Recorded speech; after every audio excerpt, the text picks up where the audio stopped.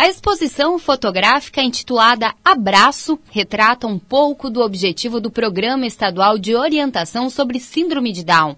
O programa, sancionado nesta quinta-feira pelo governador José Ivo Sartori, prevê uma série de ações voltadas para a compreensão, qualidade de vida e combate ao preconceito aos portadores da síndrome.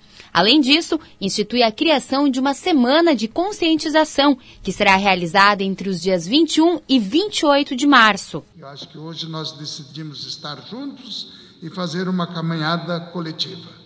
Hoje também, acredito eu, foi plantada uma semente, uma pequena semente, é bem verdade, mas eu acho que todos nós vamos trabalhar junto para regar essa semente para que ela floresça. Eu quero convidar a todos que, com palavras, com atos, tornemos vivo o espírito dessa lei.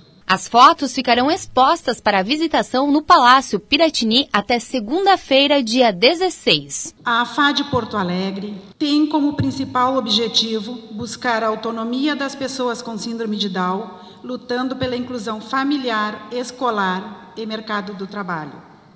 Com a vigência dessa lei, certamente o movimento será unificado e novas associações poderão surgir.